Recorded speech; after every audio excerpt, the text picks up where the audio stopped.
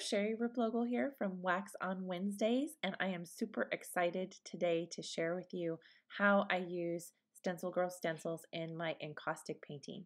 And this is uh, three practice boards. I've already coated them with three coats of encaustic paint, white encaustic paint, and I label them on the back because these are my practice boards and I like to write down exactly what pigments or what techniques I use to achieve a certain look. So this way when I'm going back over I have a whole vocabulary or library of techniques in my little practice boards and I can easily reference what I did to achieve that look by looking on my notes on the back of the board. So to get started here, I'm using uh, R&F oil paint sticks and these are oil paints in a stick form and I'll also be using some pan pastels which are soft pastels in the little containers there easy to use and very pigmented. And the R&F sticks have a little bit of a skin on top of them so all you have to do is take a little paper towel or a towel and lift that little skin off and they are creamy and ready to go. And I'm using the Akua a wiping cloth for this to apply the oil stick. You can use a variety of things. You can even use your finger. But I find that wiping cloth is super, super soft. So just cutting off a tiny little piece of that Akua wiping cloth for each color, just really, it goes on really smoothly. It doesn't pull up on the stencil at all. And I'm able to um, just sort of wrap it around my finger and and apply it through the stencil really neatly. And I uh, love to paint with my fingers anyway, so this works out really well for me. You can use a brush, you can use a makeup sponge, you can use a gloved hand, um, anything can you can use a variety of materials to apply that oil stick through the stencil. And here I am fusing it every single layer of uh, pigment or wax that you add to your encaustic needs to be fused to the layer underneath for a permanent bond. I'm using when I'm fusing in the stencils like this, I only need to fuse it till it gets shiny, which we call fusing it to a glisten. And that means that the entire surface becomes just slightly shiny, and that means also that the pigment is now set into the wax. So here, moving on, I'm going to do a different stencil. I'm going to do a different look on each piece. And I like to work on three or four pieces at a time and that way I'm working very quickly and intuitively. These are all abstract paintings and so I like to change it up and when I see that I'm at a stop or a standstill on one of them, I'll quickly move on to the next piece. And here I'm applying the pan pastels with just a simple makeup sponge directly onto the encaustic surface and I can blend the colors and shade right around that stencil as I go.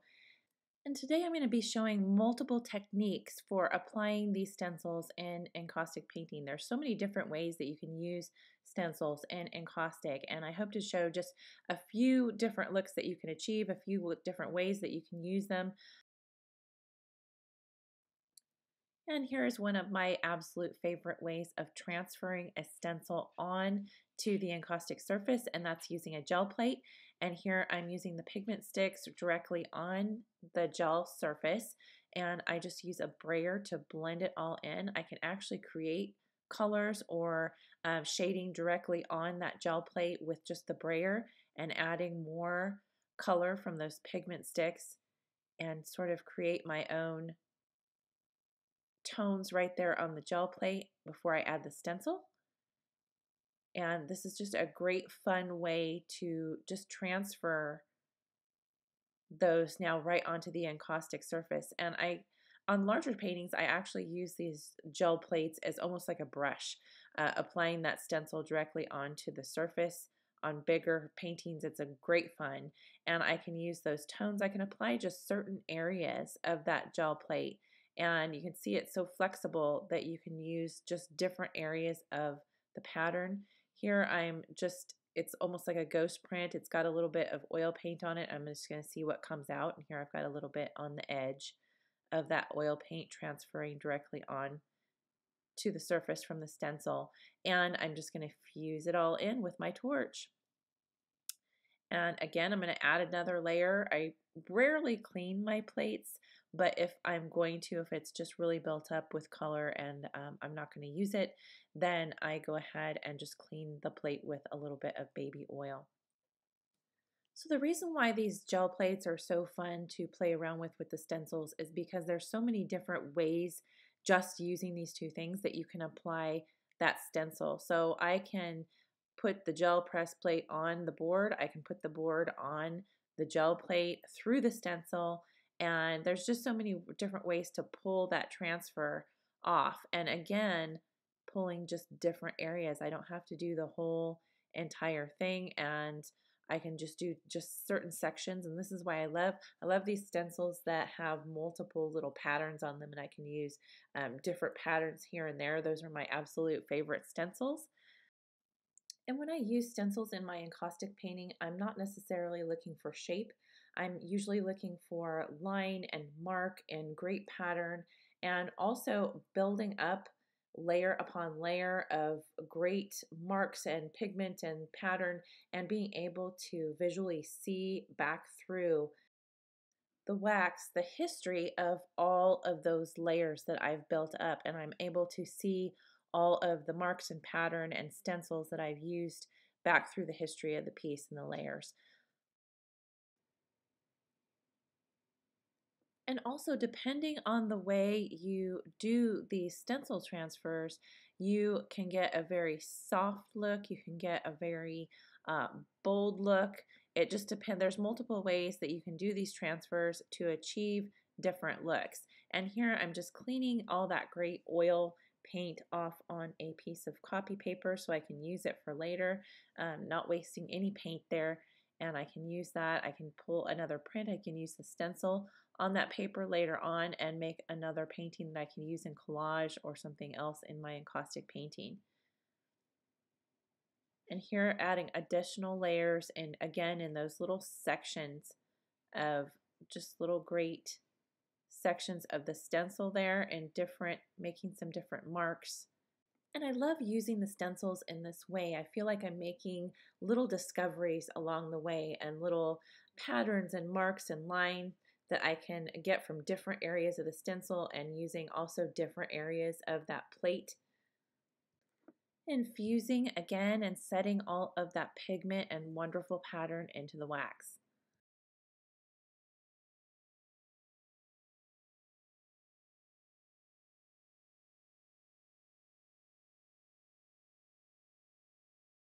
And here back layering with the pan pastel directly through the stencil uh, blending all of the colors right through the stencil onto the encaustic surface.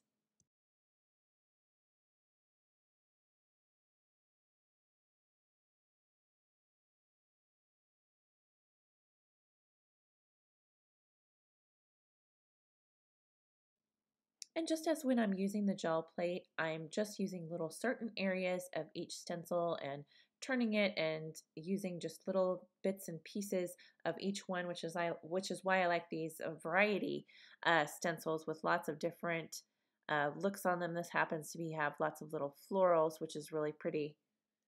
And those makeup sponges are so soft that you can, and the encaustic surface is so smooth that it allows you to just blend all those colors right through the stencil on the surface. And right there, you can blend colors, you can shade, you can create new colors, all right there through the stencil as you're working.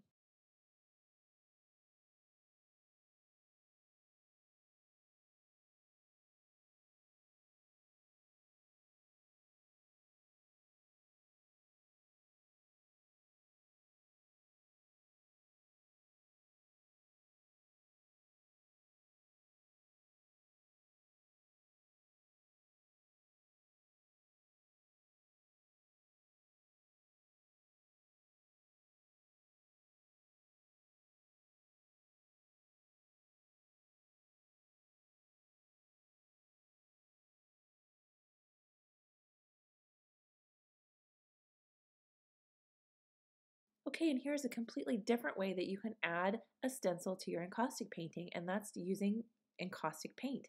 So this encaustic paint is uh, has a working temperature of about 180 degrees, so you're going to want to let it solidify for just a few seconds before you lift off the stencil for awesome texture and pattern. And here I'm applying just very light coats of this paint. The paint is very thick. It's wax, beeswax, with a pigmented, whatever pigment color that you choose. In this case, it's white. And it, I'm painting it on in very, very thin layers. And that way it is not being uh, too heavy on your stencil. So it's not going to tear your stencil. And I'm lifting it off very carefully once it solidifies. And I'm going to fuse that in right away. And again, I'm fusing it very lightly. I don't want to get rid of any of that texture or pattern that's been created there. So I'm fusing it just until it comes to a glisten. And I can use just bits and pieces of that stencil again to add some sort of create my own pattern and texture. And it gives such a depth when you add the stencil in this way, it gives such a depth to that pattern. A really great look on encaustic. Here I'm just adding a clear layer to the other paintings just to sort of seal in that pigment. This is an optional layer, but it does seal in that pigment, all of that, especially when you're using the oil stick, it sort of seals in all that oil stick so you can continue to build on those layers.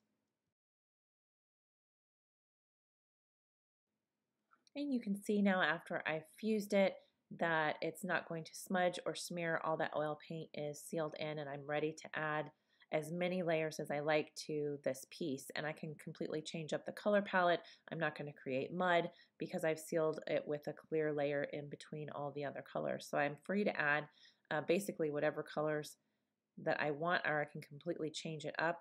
Here I'm just adding gray and black and I just I just want to add another layer of pattern to this piece.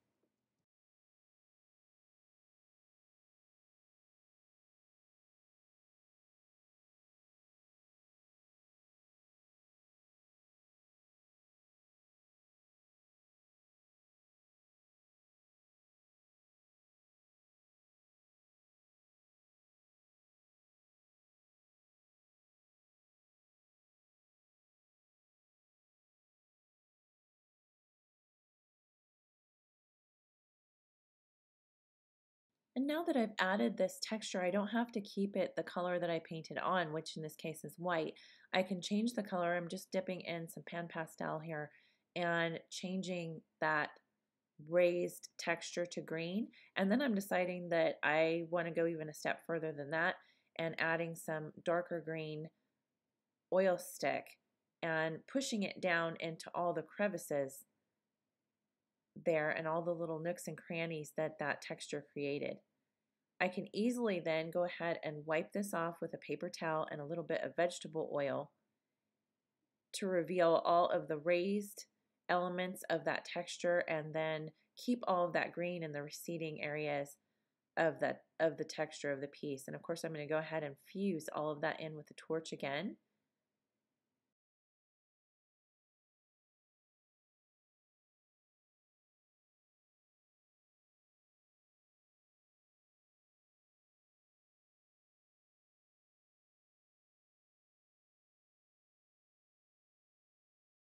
Here I'm using the makeup sponge applicator and the pan pastels to go ahead and shade in areas of that pattern created with the stencil.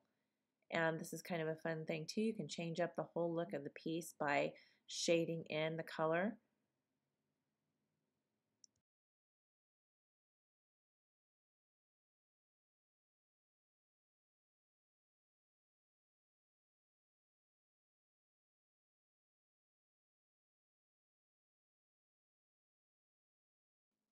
And on this particular piece, I'm going to show you some of the things that I do when I add um, the stencils as an underpainting and I carry it through uh, to an actual landscape or something like that. I love to have those stencils show through in certain areas.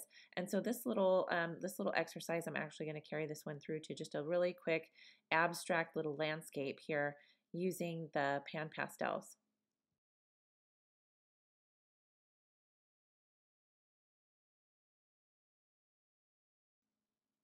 And again, I'm layering with these pan pastels. I'm adding additional layers and then fusing in between every single layer.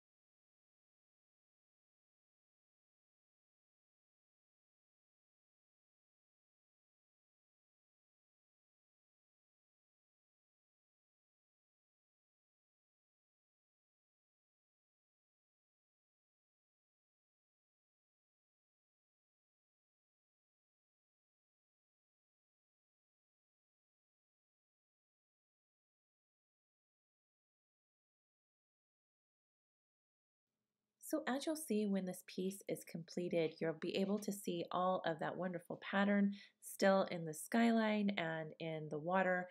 I love creating my landscapes in this way. I feel it adds a lot of interest to the piece and a lot of depth. You can see all the history of the layers right back through uh, the wax itself. And I hope that you really enjoyed all of these techniques and use them in your future encaustic painting. And if you haven't given encaustic a try, I sure hope that you do. Happy creating!